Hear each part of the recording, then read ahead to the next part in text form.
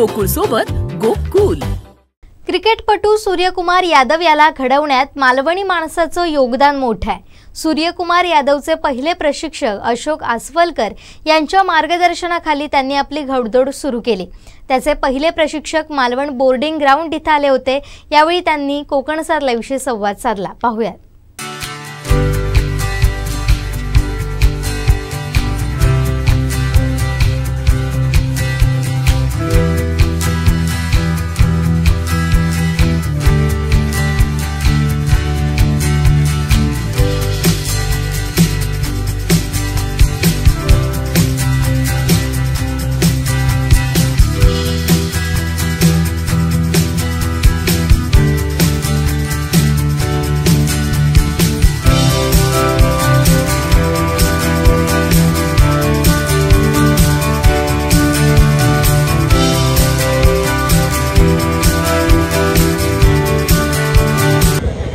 Almost मी माझं जिल्ह्याचं cricket ह्या ग्राउंडवरनं सुरुवात झाली माझी. की आम्ही इथे आम्ही सगळं आमचा जो संघ होता मालवणचा प्ले बॉय त्यांच्यामध्ये आम्ही टेनिस बॉल क्रिकेटच खेळत होतो आणि तेव्हा त्या लोकांना माहिती पडलं की जी जिल्ह्याची टीमचं सिलेक्शन होणार आहे. त्यावेळेस आम्ही सगळे लोक जे चांगले खेळणारे वाटत होते त्यांच्यावर त्यांनी मलाही नेलं होतं. सिलेक्शनला डिस्ट्रिक्टच्या आणि तेव्हा होतं सावंतवाडीला. आणि तिथे माझं सिलेक्शन झालं त्यांच्याबरोबर. आणि डिस्ट्रिक्टला आम्ही खेळलो. आणि त्यावेळेला डिस्ट्रिक्टच्या टुर्नामेंटला मी टॉप परफॉर्मन्स होतो मी. बहुतेक तर सगळ्या मॅचला ऑलमोस्ट स्कोर करत होतो. सगळ्या मॅचला स्कोर झाला होता. ग्राउंड खूप चांगला हा. त्या की त्याच्यावर मेहनत करूक होईल तरच त्याचा रिझल्ट पण आमच्या मुलांच्या बाबतीत चांगला मिळतो कारण का मुलांना क्रिकेट खेळवता असतं तर आमका त्यांना चांगले पीच देऊक होयत. आणि चांगले पीच देऊचे म्हणजे त्याच्यावर काम पण चांगला करू होया तरच ते चांगला होतला सगळं नाही तर नाही होतला मुंबईमध्ये माझा पहिल्यापासून माझा मुंबईमध्येच क्रिकेट होता. पण इकडून खेळून गेल्यानंतर मी खूप ठिकाणी गेलो आहे की पुढचा क्रिकेट खेळू जा असा म्हणून. पण एक दोघांकडनं मला मेसेज असं मिळालो की तुमचा वय थोडासा जास्त असा त्यामुळे तुमचा खेळ जावचला मिळतला नाही पुढे.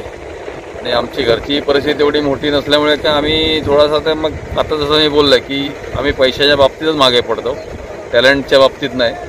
पण आमच्या घरातही तीच परिस्थिती असल्यामुळे आमका पुढे जाऊन क्रिकेट खेळूक नाही मिळाला. आणि मग काय मग विचार केला व एकदा कुठून तरी आमच्या मित्राकडनं ऑफर आली की सीझन बॉल शिकवायचा कोचिंग करूच्या तर करतलं काय म्हणून? आणि मग तिथून मग आम्ही कोचिंगमध्ये घुसलो.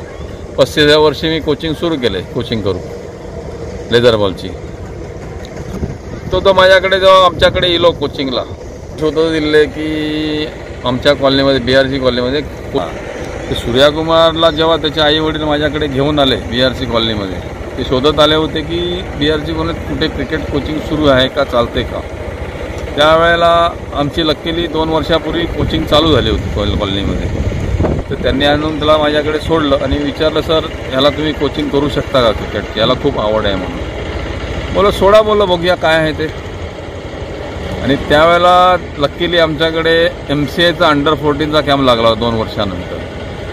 आणि त्या कॅम्पमध्ये आमच्याकडे त्यावेळेला धवल कुलकर्णी प्रवीश शेट्टी आदित्य तरे बलविंदर सिंग ज्युनियर असे मुंबईला जे खेळली मुलं ती सगळी त्यावेळेला त्या कॅम्पमध्ये होती. त्याच्यावर आणखीन तीन चार मुलं होती. राजीव मेहरा एक होता आणखीन दोघं तिघंजणं होती. त्यांच्या तीन वर्ष ज्युनियर सूर्या होता. पण कॅम्प आमच्याकडे लागलेला असल्यामुळे आम्ही सूर्यालाही त्या ज्युनियर असतानाही त्यांच्याबरोबर ठेवून आम्ही सूर्याला तयार करायचा प्रयत्न केला. आणि त्याचं फळ आज आम्हाला दिसतंय. असून जरी अगदी सगळा खर्च उचलून मुलांच्या पाठीमागे उभं राहून थोडीफार काय होईना शंभर एक लोकांनी जरी ठरवलं नाही आणि तेवढी लोक आता नक्कीच निघतली सिंधुदुर्गामधनं की काहीतरी करू शकतील म्हणून मुलांसाठी. तर ते जर एकदा ठरवून जर काय काम झाला तर त्यासारखी कुठली चांगली गोष्ट नसतली सिंधुदुर्ग आणि मालवणसाठी. या फक्त हो कोया ठरवून करू कोया आमचे दिवसभरातले सर्व अपडेट्स ताज्या घडामोडी आणि थेट लाईव्ह पाहण्यासाठी सबस्क्राईब करा लाईक करा. कोकणचं नंबर वन महा चॅनल कोकण सात लाईव्हचं युट्यूब चॅनल